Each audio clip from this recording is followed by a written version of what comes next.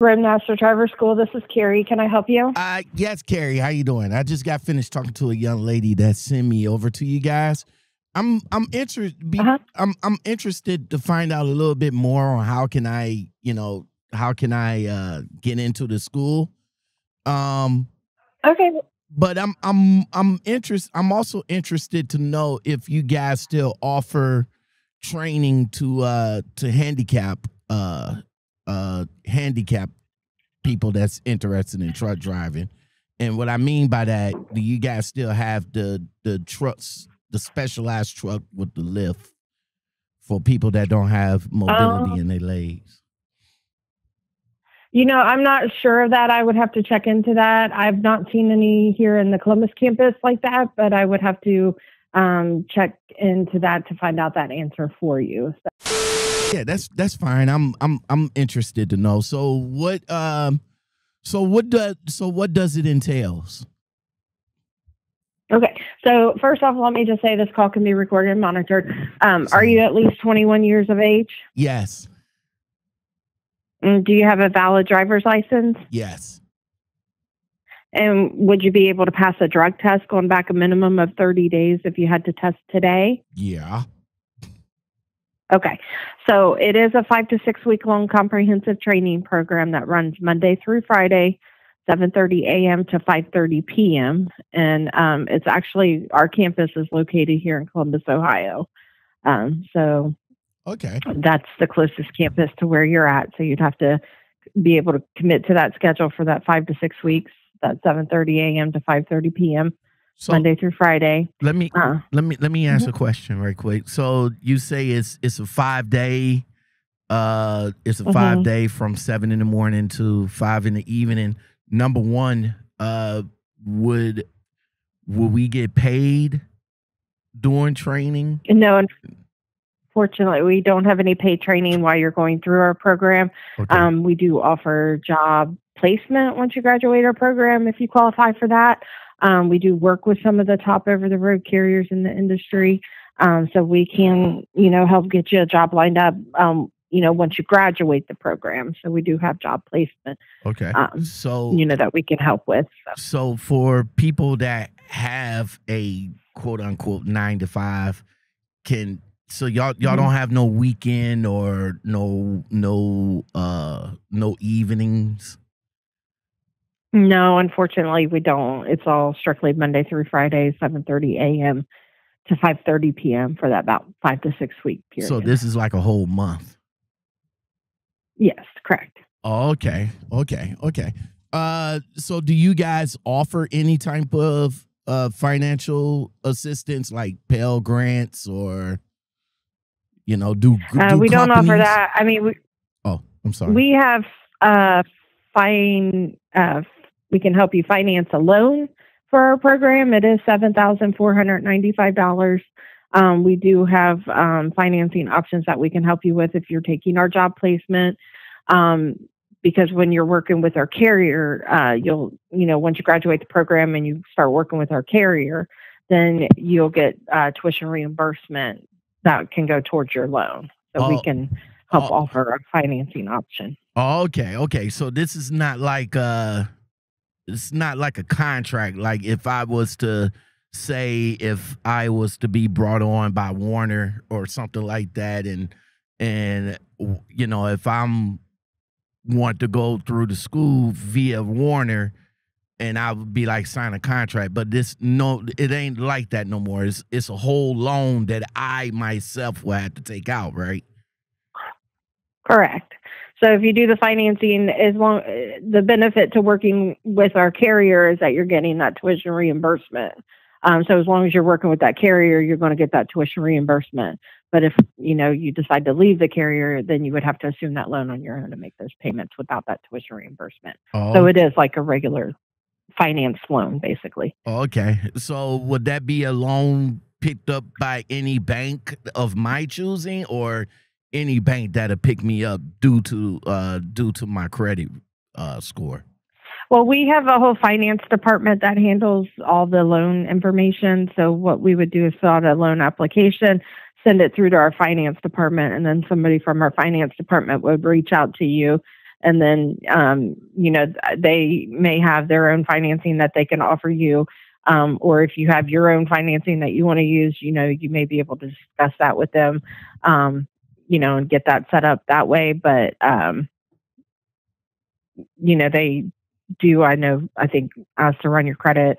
And then if sometimes your credit's not that great, they'll either ask for a cosigner or like a down payment or something. All right. Well, let me ask you, let me ask you this about, uh, about my credit. So let's say, for example, uh, let's say, for example, I get it I'm in. I go through the program.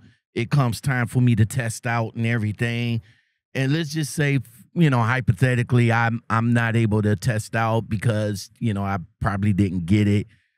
Would the would the loan be null and void, or would I still be responsible for that loan even though I didn't get my CDL? You'd be responsible for the time that you spent going through our training program. Mm. okay, okay. Uh, so let me ask you this: If I have a class, if I have a class B and I want to transition over to a class A, is is there a program mm-hmm. available for that?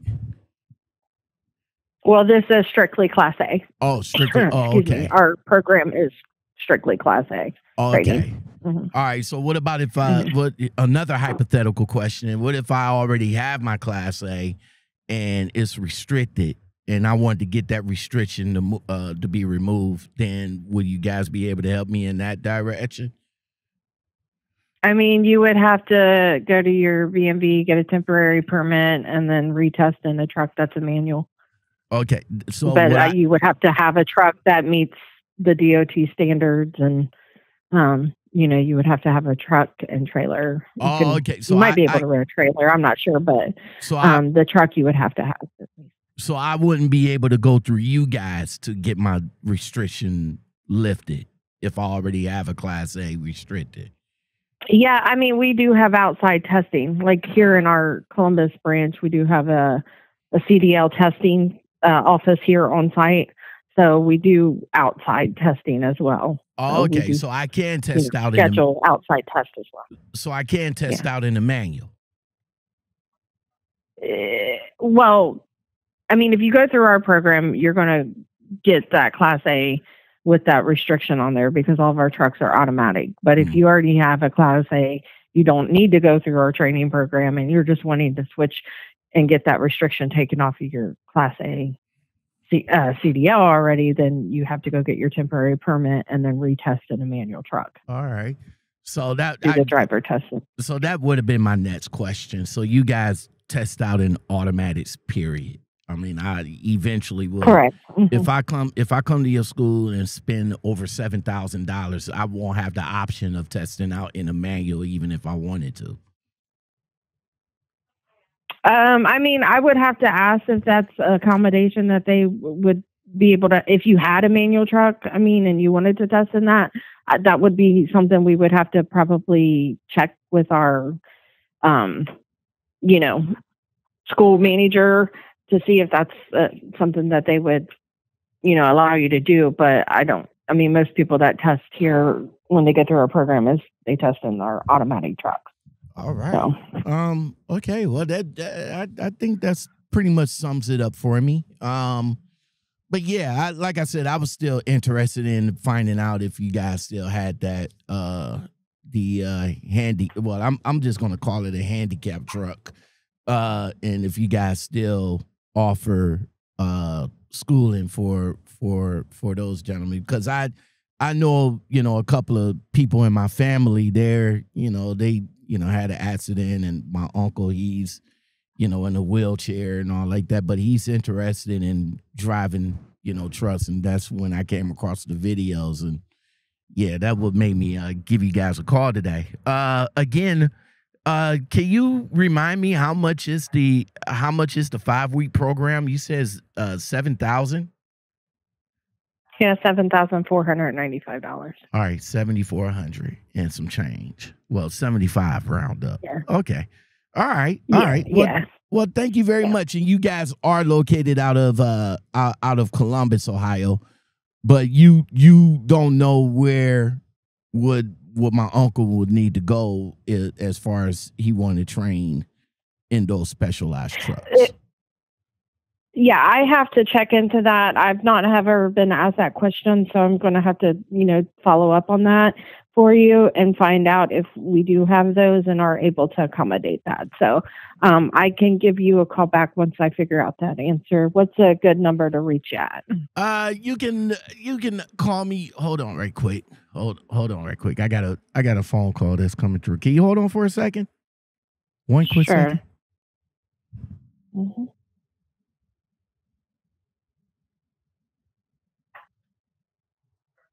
All right, I'm sorry. That was my mom's. uh, 216 216 673 3081. I'm sorry.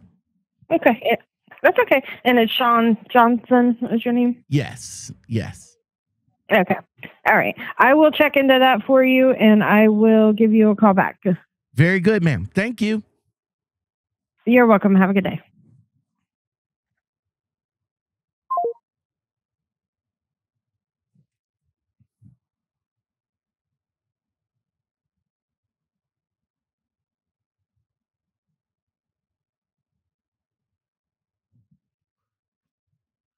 Okay, so let me do the smart pads.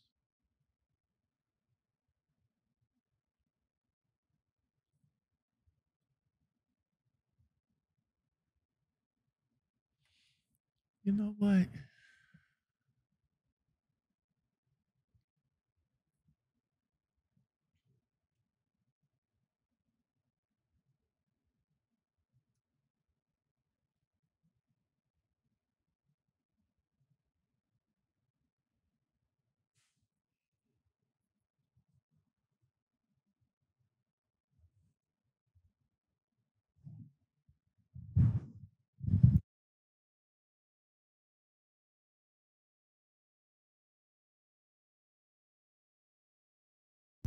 Roadmaster, everybody.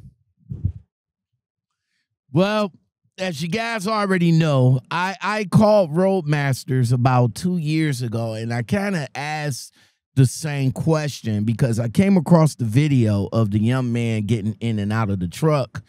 Uh this paralyzed young man getting in and out of the truck with a with a lift, you know, with a seat lift to get him in in and out of the truck. And I talked to the young man last time. Uh, I believe this was like in Florida. So I'm not even sure if they. Well, he told me at that time that they don't even have that specialized truck anymore. But with this video right here, you know, being that this young man has been paralyzed and going into a newer, more bluer Roadmaster truck. So that what made me initiated this call this year to get a little bit more information for you guys to see if they still offer that program for you know you guys that don't have mobility in your legs or if you're paralyzed for any reason. I have came across a lot of inspirational videos of truck drivers that don't have their limbs that don't have hands that don't have arms that still driving trucks out here. I mean it's crazy. It's like if they can do it you can do it too. You know and it's inspiring inspirational. I talked to a lot of drivers that had you know that had lost limbs and still out here trucking and and and and enjoying it.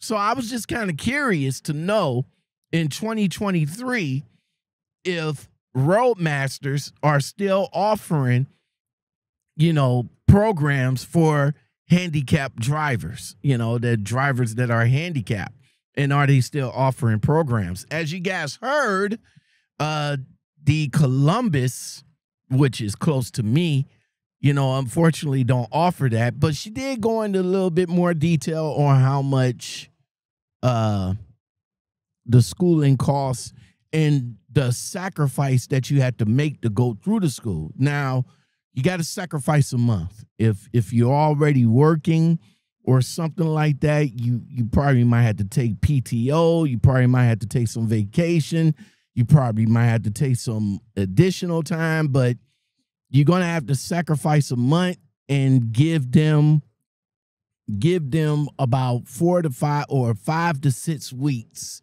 of Monday through Friday, 7:30 to 5 p.m. every day. Every day. Uh unfortunately, you don't get paid during the time you're going to school. So save up your money. Save up your money. See, this is something that a lot of people don't talk about, you know, when they be like, it's trucker's life, baby, and they want you to get into this industry. Well, they don't know that the hoops and hurdles that you got to jump into to get into this industry. And one of those hoops and hurdles is giving up at least a month to give to them to get your CDL. Now, during that time, you're not going to get paid by going to school. So you're going to have to figure out some way of getting yourself compensated. You got to go all the way out to Columbus, depending on where you live at.